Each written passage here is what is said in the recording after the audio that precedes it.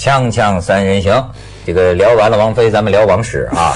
这个你刚从那儿来？刚从王室回来吗？哎呀，从英国又听。咱们俩真是前后脚，我也去了白金汉宫。大家听清楚门，口前后脚没有重复。呃，对呀、对呀、你不跟我重复吗？你要咱们可以一起同游吗？是，对对对，但是没有，没有你们同游过吗？哎呀，却还被我拍照，放在我的微博，请看。哎呦哎呦，打打一下广告。打广告，打广告，打。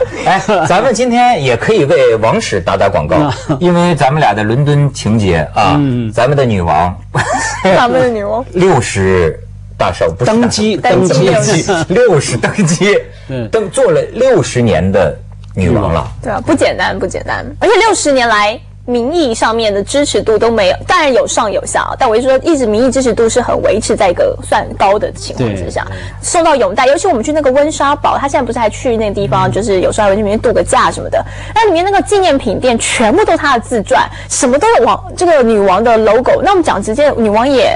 有点年纪了哦，她那个照片也不是说真的这么美啊，或者是但这么印在盘子上、印在杯子上，怎么就有人会去把它买回家？所以表示她在嗯英国人民或者是很多世界上的人民的心中，她是有一个高度的。对对对，但是我我蛮难想象，就是说一个女性的王室的领导者，她可以用一种柔软的力量，让所有人觉得我想要知道她的一切跟过去。你很难体会哈，我在香港，我们对于女王的感觉，你们当然对对对你们当然是啊因为在我成长的年代哈，我是殖民渔猎嘛哈，我殖民英国殖民的 的年代成长。我们小时候在香港的学校，在香港的医院，每个地方的墙壁上面都挂着英女王的照片，对而且挂着她年轻的照片。嗯那我那时候刚好发发育阶段哈，你可以了解我对她的仰慕啊。跟我就于老师是一样的一模遐想一样，你你知道吗？你的那些年 是伊丽莎白女王。我告诉你，我刚去了一趟北京，接受了一个广播节目的访谈，后来那一段播出的时候被剪掉。哎，刚才我们不爱说这个，该说说。他就是不晓得什么理由啊，问到我对英女王的感觉啊，我说好吧，我必须坦白，我不爱说谎哈、英女王是我们那一代的香港男人的第一个第一个梦遗的对象哈，真的假的很多了，很多了。性感那种范儿的。哎，老兄，我们现在时光倒回来，是说四十多年前呐、现在不是今天不能算性感啊。哎，四十多年前我们是少年年轻人，年轻人爱熟女啊。哦而且你梦遗，哎，是是是。第一个年轻人爱熟女，第二个，哎，那当你你你，我听成爱手语，哦哦哦，哎哎，也爱也手爱。语造成梦遗是吗？然后然后在 在梦里面，你的对象通常看不清楚样子的嘛，嗯大概让感觉很有权威的。我还记得那个梦，大概是在英国一个古堡，跑进来一个不晓得是女王还是什么样，大概是那种感觉的。你起来就要赶快洗个澡，什么？哦那那所以我们那一代人是这样。我在北京讲到这一段就被剪掉哈，然后后来成长过程里面，你看英女王生育的时候，她 birthday 啊，我们也休假不用上学，我们都爱他，他也看着我们成长，我们也是看着他成长了。但是既然家辉这么讲，我也讲，就我最近接受了一个杂志的采访，最后他们也给我删掉了。真的菜也可以说。你说的是他的自由评哪一证段。不是，他们就说呀，他问我一个什么呢？他就说你这个想回到什么哪个年代去，你知道吗？我这学我这事儿我还挺认真。我说你们这个话题啊，就没法让人认真。就是我说，因为呢，你你过去之后你是谁是个问题啊。你百分之，你像我过去，我怎么也得是个贵族啊，但问题在能是吗？你百分之九十九的可能不是。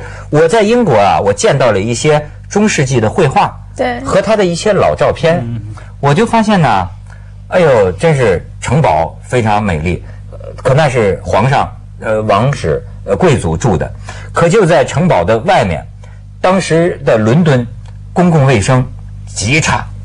我也看过北京的老照片，那时候巍峨的也就是城墙。你看城墙什么是城门外边不远处，你一看就是那个那个脏不唧唧的那个窝棚，穷人住的那个窝棚，这就让你想到啊，我们这种运气不好的人，过去之后，百分之九十的可能你不是贵族啊。那么相比之下，现代化它是个拉平的过程啊。对，就是现在我们这日子平民日子，是不是还可以？对，其实其实也，所以从这个角度看，我们的每一个年代其实就是最好的、最美好的年代。已经你所能有最美好的年代，因为不管每个角度，人类文明基本上往前走了。没错，因为你回去任何地方都有当时的痛苦，当时的灾难。但是江辉，为什么我就那天我就跟你讲一个，我就说我觉得人类这个世界啊是非常寒碜的，非常寒酸的一个世界呢？就是因为最好的东西不可能属于每一个人，所以民主化一来，你就所以才会追求啊。对，你看啊。最美好的东西，好比说皇室的那些个收藏，对吧？哎，那就真的是集中了全国的举国之力。你像故宫是什么？我这个温温莎堡是吧？举国之力打造一个最好的奇观，才能有这么一点好东西。你你想是不是？包括所以说呢，我们一方面又想呢，呃，这个我们不能过穷人的日子，对吧？不能说全集中到你们少数贵族。但是另一方面呢，我们这个精神上。永远你会意淫这个王室，你就看到今天为止，英国呃，到今天为止，中国的这个宫廷戏，这都在干什么？最吸引人的，为什么还是爱看皇帝家里那点事儿？包括西方也是，你都民主社会了，你整天意淫，你看有些人意淫到意淫什么呢？意淫什么？因为我我觉得，我给你看个照片，你就知道意淫什么。也就是说啊，这个身份证上啊，不能自己瞎改造。嗯，这这这两天机场查住了一个，但他这个身份证，他一面是他自己，另一面你看他贴成什么了？你可以看看这个，这拿这上康熙大帝了。上飞机，一六五四年五月四号生的爱新觉罗玄玄烨。嗯，这位老兄就而且太久了，没错，而且又又觉你注意到没有？我最近看看，有时候看看什么电视剧啊，这些个宫廷戏啊。我觉得他们是就处心积虑的，呃，从编剧到导演就觉得他们就爱看宫廷里的女人们 勾心斗角，然后男人就爱看皇帝后宫三千，然后被争来争去。还不是，还不是，男人爱看的是男的这个权力斗争，尔虞我诈，怎么把他给弄下去？怎么先挖个坑把他给掉进去？女的看的就是为了争得这个宠爱。互相间又下毒啊，又怎么着啊？又包包括生生孩子，孩子争夺战，就是这点事儿。所以文涛，我才刚才问意淫什么？因为当我们说意淫的时候，是说，哎，我们看到美好的东西，我幻想，我想象我是其中的人，享受美好的东西。那我觉得很多人，坦白讲，包括我看宫廷戏，刚好相反，我是看到一个那么富贵的贵族。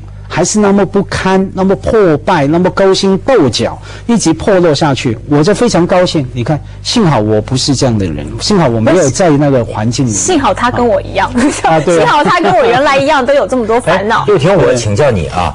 这个现在不都新女性了吗？我理解新女性的标准就是咱们没有什么男女了，咱们想的都一样，都是独立之人格、自由之思想啊，谁也不是天生的。新女性是安慰女生的啦，啊是吗？我要不得不承认，新女性是鼓励女生要独立，没有错。但是她其实安慰你自己说，其实你现在这样没有不好。但是，但其实你的心里面底底底是不是想要追求？没错，一般女孩所比较俗气的说法，对对对，还是有。就也许我们生活这个世界不尽合理，但是我只能根据我眼睛看到的。为什么我眼睛看到的还就是女人喜欢在男人那儿争东西呢？女人喜欢在男人那儿争东西。哎，你包括女主持，她就比比男主持找老板找的多，哭的也多。你说是吧？抢哎，这个东西我不能，因为我们只能用这个方式找到我们要的东西，这是一个方法，是不是？就是说用哭啊、闹啊，或者是眼泪啊，或者是。我所以我就说，我们的武器是这种使用的方式。那天他们还讲到拍电影，什么捧这个女戏子啊什么的。我就说，哎，有些个你包括是女明星，那么你出来，你应该是妇女解放的典范了吧？你是成功的呀，你是独立之人格、自由之思想吗？女强人吗？或者不？但他的话不爱听女强人。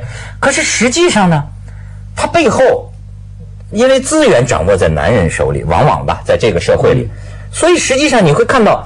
他还是用宫廷后宫的手段，因为在抢啊。对，所以因为掌握资源的男人只吃这一套啊。没错。如果我今天跟你一样，都是凭我们主持的实力站在前面的话，你不会理我的。我今天没有小小的美腿，文涛哥，你应该会多看我两眼呢。有条，我会，我会，我会。我跟你说，有条，我看中你完全是上半身的原因，绝不是。我安慰很多。腿是镜头前，镜头前，镜头后。腿是你来了之后，我发现，哎，我的眼光还真不错，哎呦，有加分。锵锵三人行，广告之后见。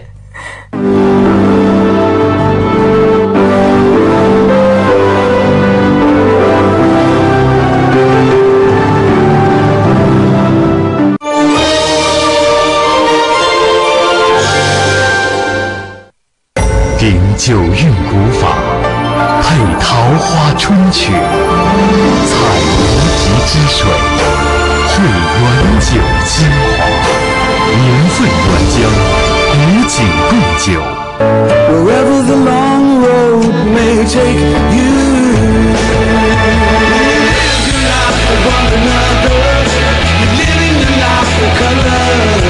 东风日产，人车生活。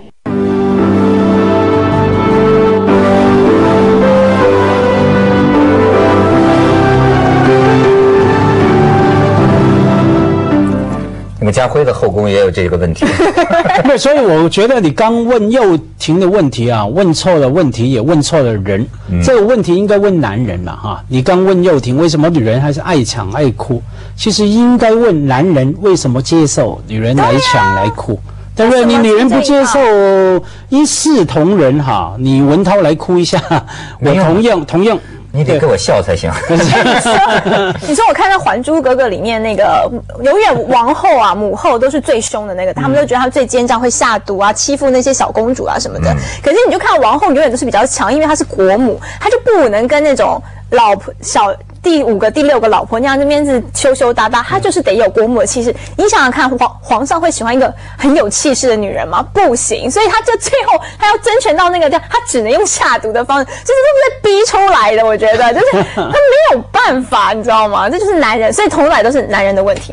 而且我跟你说，我最近看的电影《失恋三十三天》的时候，我里面看到一段，我就恍然大悟。不是告诉我什么失恋什么样，是说呃，里面那个女主角不是问了一个有钱男人，因为那男人娶了一个比较相对。没脑的女人啊，只想要买 LV 啊，买名牌。他就说：“为什么你们这么有权有势？”台湾女孩说话的，对，还学台湾女孩说话，这污蔑台湾女生。然后啊，这为什么你有权有势，你大把女孩选择，最后你选了这个我们一般女生觉得哈，怎么这个等级水平的女人而已？然后那男人就回答说：“哦，因为这是省事啊，因为呢，对于这个女人来说呢，LV 是必需品，爱情是奢侈品。那。”如我在一个段关系当中，如果我要维持我的钱可以源源不绝给他，所以呢，我可以维持这关系。但是爱情我没有办法，反正他也不需要，他觉得是奢侈，所以我就娶了这样子的女人。哦，我就觉得哦，那我就可以知道为什么我不会被 豪门看上。对，我应该就因为爱情对我来说是必需品，LV 是奢侈品，我相反。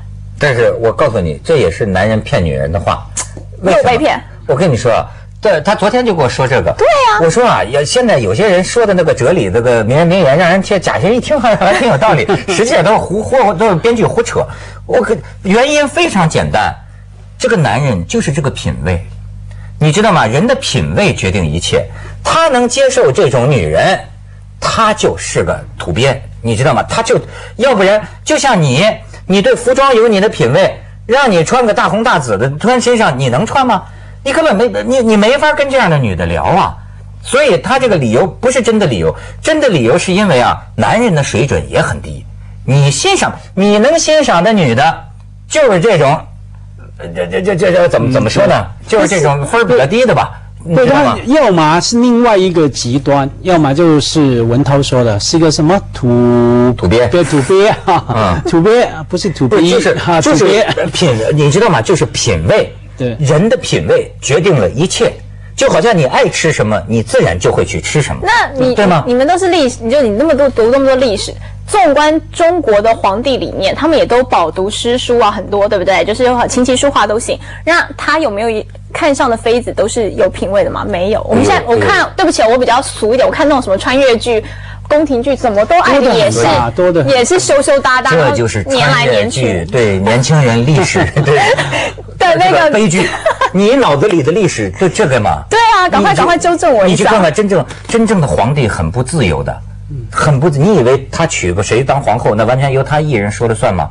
根本就不但他的。真爱永远还是羞羞答答那个，对不对？在就说部地上武则天嘛，武则天还不仅老公爱她，连儿子都爱她，乱伦的吧？太多这种例子了！我刚是说，呃，文涛说的情况啊，这是一种是土鳖啊，另外一种要么这个男人太高明、太聪明了啊，他懂得不管你的女人是怎么样，他懂得把你放在什么样的位置。把你你放在不同的位置哈，他可能不仅是爱一种女人，嗯他可能也爱那种那好，我只要给你买名牌就好。可是他背后可能还是爱另外一种很有才气、很有才华，他懂得把不同的人放在不同的位置。呃，有有一种就是说他他的这个理由，就是说男人确实很多时候想省事儿，因为这个需要做的事情太多了，不能把女人放生全部的时间。所以呢，这个女人如果能用钱打发，那么比较省事儿，满足我一个可以预期的呃一个需要也很好，这个是有的。但是我就跟你说，即便是你生活中的八分之一的这个女人，她也有个品味问题，不是说这个女孩子多么灵秀，多么干嘛，而是说呀，两个人能够聊得来吧，嗯，对吧？因为毕竟不是嫖娼啊，对吧？两个人能够一起，他你愿意他站在你身边，这就像是一个人你喜欢一个家具，你为什么选择这件家具啊？为什么那个土鳖他选择的就是那件家具啊？咱就说，当然，嗯把女人比成家具，这个也很真实。实用要美观，对不对？就是说，这品味问题，我跟你说，对，那那觉得还有不要忘记有时间的因素哈，时间的呃考虑哈，可能不同的女人也好，或是倒过来从女人角度看男人也好，我们经常看，咦，这样女人很好啊，怎么你身边的男人是那个样子哈？可能对你来说，诶。讲难听一点是玩一玩嘛，我可能喜欢他身体很好，或者说怎么样某方面很幽默等等，我准备跟他交往，过瘾个过过一把瘾，过把瘾就死了。对，过把瘾过了一个月、两个月、三个月无妨嘛，没有关系。我觉得现代人太聪明了了啊，他爱谁都有他的理由，他不爱的时候更可以找到理由，哎太太聪明。所以没错没错被挑上，真的我们不能只看，就是说被挑上那个 moment，应该是说这个女的跟这个男的可以多久，这才是重点，对不对？就堪不堪用，经不经得时间的考验，堪不堪用？对，堪不堪用，还可以维修保对，养。能不能维修保养？出厂以后他还是爱你，然后可以长时间的经营，这才是重点，对吧？对。你不觉得你这样有点这个怎么怎么怎么怎么怎么怎么怎么说呢？有点那个封建思想吗？为什么啊？为什么？呃，有可能有些女权分子会觉得你这么讲话，你把我们女人置于何地呢？可是每个人要知道自己的价值在哪里。我还是说，我说的堪用不是只有美观的堪不堪用啊，包括你的脑子堪不堪用。你是不是与时俱进？你今天可以跟你他三十岁，你老公三十岁的时候，你跟他聊他三十岁喜欢的东西；他四十岁以后，你是不是可以跟他打高尔夫？五十岁，你是不是可以跟他在家里面喝老人茶？这个这个品味得要有。那现在很多女生没有啊，她是觉得她只看这个短利，看她现在有钱，看她现在这个光鲜的一面，你都不知道你背后要付出的牺牲是什么。那这样的话，你就不堪用啊。那你这样讲还是继续封建嘛？为什么要女人要随着男人的年龄改变而改变？你不爱打 golf，你就不打了嘛；不爱喝老人茶的不喝了。那你就不要找一你老公要喝就喝啊你不。要想找一个喝老人茶，但我是说你的你自己本身要很多样，你就很多面。因为你既然是跟一个 partner，你竟然决定要有婚姻，就是要跟另外一个人合作相处一辈子，合作嘛，嗯你就是要有妥协。那当然，他对方也是要相互的回馈，不是说你一昧的对他，但是一定要互相合作，那他才会长久。如果女权可以，我也赞成，那他就一个人一辈子，就不要哀怨说要为什长么看不上。要长久，还有另外一个方法，除了合作以外，可以外包，把陪你老公喝红酒的部分责任外包给其他的人，把他陪他打 golf 外包。哎，坦白你要讲，独占嘛？对啊，你独占就很很难长长久。因为我可以多元，我就就如果我不会打高尔夫，你跟别人打那我就算了。可是我会打，你不跟我打，你跑去跟别人打，你打不行。你你知道，你知道，我我现在觉得这个，像最近我老看那个电视剧叫 Tudor 啊 都铎哦王朝，都铎王朝那个嗯那个电视剧，你就看英国的这个亨利七世这个王室，我觉得跟中国的这种不太一样。中国这个是啊农民的这种，就是后宫三千全养着。我搞不着你啊，你也不能给别人搞。我发现英国这个他就是 他不是，他是个个都有老公的，是吧？不是谁都有谁的老公，但是皇帝呢就是开舞会 party，看看那个人是谁，啊，勾过来勾过来，哎，搞搞搞搞搞搞搞搞，哎，全是什么伯爵夫人，全啊，皇帝想弄谁的老婆就是谁的老婆，你知道吗？到最后，哎，我觉得他也是一种。就是他不闲着，你知道吗？他平常 我我我不用你吧，你也不闲着，这是不是比咱们还是先进？是吧？皇帝也不小心眼儿，是吧？锵锵三人行，广告之后见。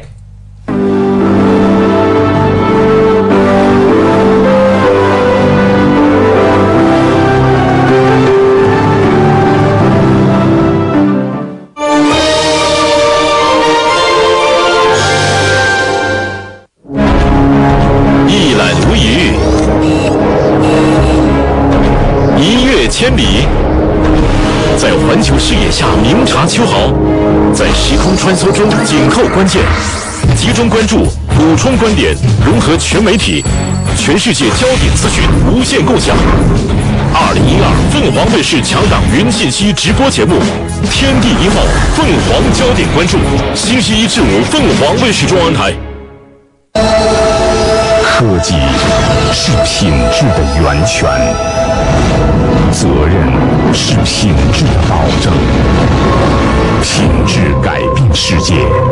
三一重工，传承千年酿造工艺，历经天宝洞藏，红花国色，酱香典范，红花郎。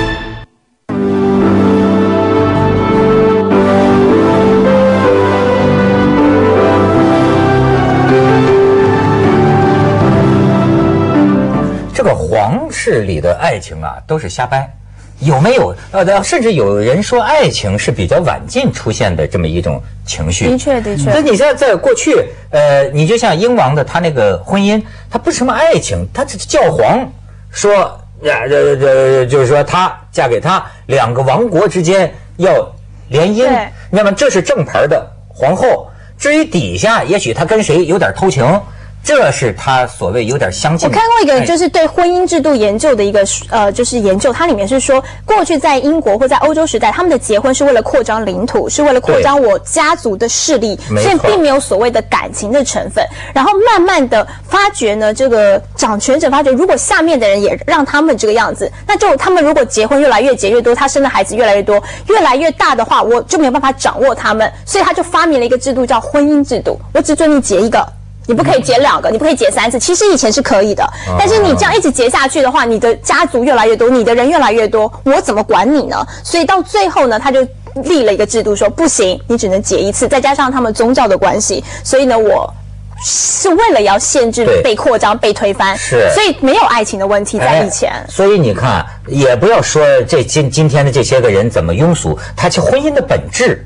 就是这个聊爱情反而是聊过分了，就是财产嘛，房子嘛，它本质它原白就是财产所有权，是是吧？对，我我的本家哈，马克思跟恩格斯 写的清清楚楚嘛，婚姻制度、私有财产制度哈，整个整个兴起，整个关系，爱情是另外一个东西，比婚姻更难去得到的东西啊。